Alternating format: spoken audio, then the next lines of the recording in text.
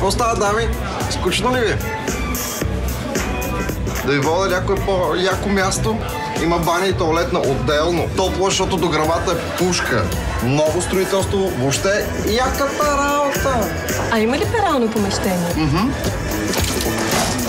Когато спечелиш апартамент от националната лотария, това си е яката работа, но не значи, че ти ставаш яката работа, значи просто, че си спечелил апартамент яката работа.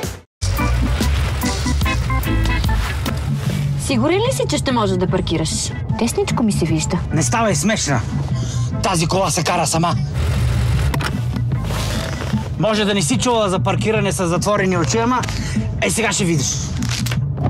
Гледай.